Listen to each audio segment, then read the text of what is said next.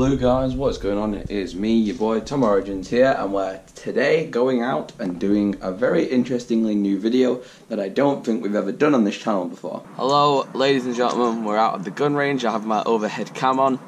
Um, so yeah, I've got the rig set up, everything's good to go. I've had a quick check around the area. Everyone seems to be good. Let's get on with the health and safety portion of the video.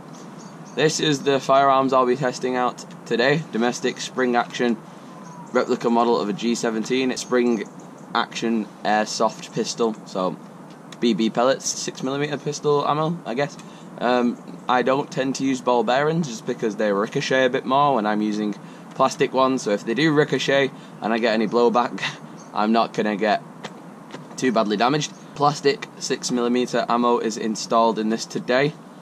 The clip in the minute is in the gun, but I've not loaded it. I'm going to load that off camera and put it in. So looking at health and safety, so I've looked at a video of this pistol. I've also read the manual. I read the manual for this one in particular. Familiarized myself with all of the, you know, nuts and bolts and parts of the gun, so I know how it works effectively.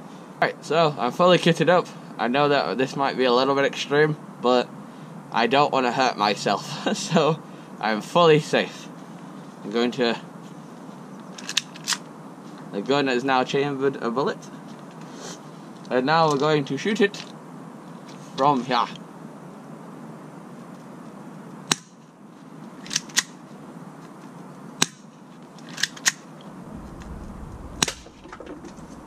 I hit something. Yay. that you're actually first person shooting.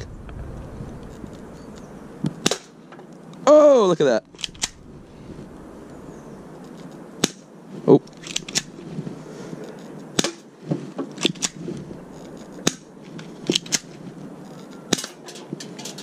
See that one ricochet, that noise was ricochet. So it's a good thing we got our protective gear on. Oh, that was a bit low. Oh, that went right past. I want to hurt. That came on the camera. Holy shit. Now I'm going to take a few steps back. That actually came right past my head. Nope, that went straight into the hay. Oh. Yep, we're out. So there we go. So we got these three targets here. I kept hitting the stump, so I have to aim a little bit higher to get the ones on the stump, but we'll have a go with them with a different angle camera. There you go, the chest mount, done.